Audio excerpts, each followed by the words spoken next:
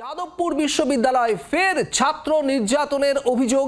এই অভিযোগ আসছে এবং হাসপাতালে চিকিৎসাধীন ওই ইঞ্জিনিয়ারিং বিভাগের ছাত্র, একদল ছাত্র ওই পড়ুয়াকে নিগ্রহ করে বলে অভিযোগ। ঠিক কি অভিযোগ, কি ঘটেছে, জানব। শ্রেয়সী গঙ্গোপাধ্যায় আমাদের প্রতিনিধি রয়েছেন আমাদের সঙ্গে। শ্রেয়সী, কি খবর পাচ্ছ?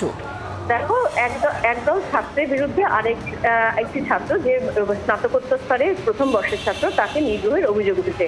এবং যেটা অভিযোগ, সেটা হচ্ছে যে তাকে নিগ্রহ করা হয়েছে এবং তার ভিত্তিতে সে অসুস্থ হয়ে পড়েছে এবং সেই অসুস্থ হয়ে এই মুহূর্তে তাকে বিশ্ববিদ্যালয়ের পক্ষ থেকে তাকে হসপিটালে ভর্তি করা হয়েছে। তবে সেক্ষেত্রে ওই ছাত্রের বিরুদ্ধেও কিন্তু পাল্টা অভিযোগ তুলেছে অন্য ছাত্ররা, যেখানে তাদের বক্তব্য হচ্ছে, ওই ছাত্র এক ছাত্রের ঘর থেকে ল্যাপটপ চুরি করেছিল এবং যখন তাকে ধরা হয়, তখন সে সেটা স্বীকার করে।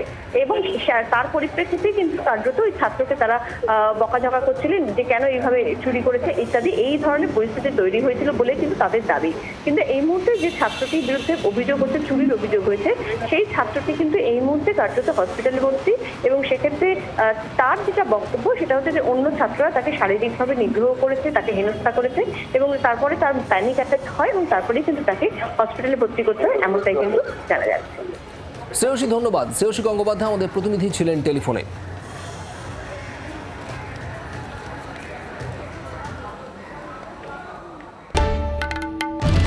বাংলার আওয়াজ, বাঙালির আবেগ। জি, চব্বিশ ঘণ্টা।